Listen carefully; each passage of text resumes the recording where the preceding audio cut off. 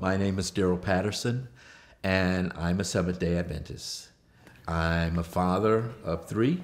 I enjoy working with people and serving others, uh, and I am faithful to my God.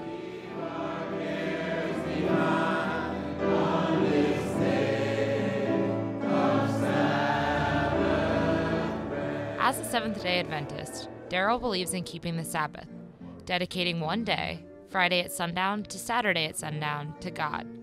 For him, this means not working during this time. God says, This is what I would have you to do to work six days and to rest on the seventh day. I was employed with Walgreens uh, from 2005 until 2011. Walgreens knew from the very beginning that I was a practicing Seventh day Adventist. During the interviewing process, I specifically asked if, there, if it would be a problem. And I explained that I didn't work Friday sunset to Saturday sunsets. Uh, and they advised me that it wouldn't, and they, I was hired. People of diverse faiths have kept the Sabbath since before our nation's founding, and many still do.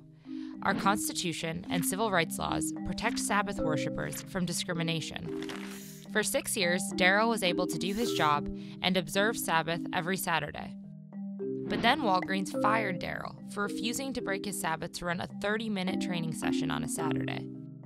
But other employees kept their jobs after missing similar shifts for non religious reasons the events leading up to that day, the suspension, and then eventually the termination. Uh, coming home and having to say, honey, I'm home. And by the way, I just lost my job.